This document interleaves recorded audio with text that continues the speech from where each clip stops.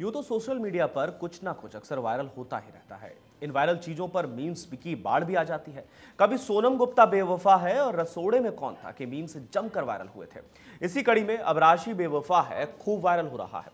दरअसल बीस रुपए के एक नोट की एक तस्वीर जिस पर लिखा है कि राशि बेवफा है, ट्विटर पर वायरल हो रही है। सोशल मीडिया पर इस नोट की तस्वीर छाने के बाद इस पर तरह तरह के मीम्स बनने लगे हैं। गौरतलब है कि इससे पहले 2016 की शुरुआत में कुछ करेंसी नोटों की तस्वीरें वायरल हुई थी, जिन पर सोनम गुप्ता बेवफा है लिखा था। तब इसको लेकर तरह तरह के मीम्स सोशल मीडिया पर छाए रहे थे। अब राशि बेवफा है, पर मीम्स वायरल हो रहे हैं।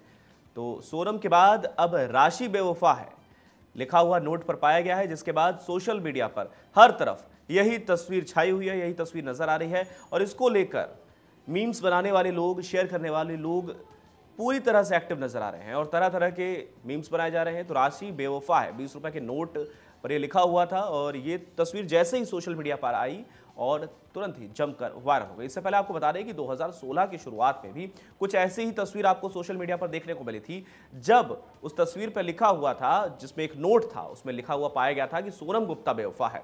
अब उसी कड़ी में बेवफा पार्ट टू में एक बार फिर हम बीस रुपए के नोट पर देख रहे हैं कि राशि बेवफा है, लिखा हुआ पाया गया है।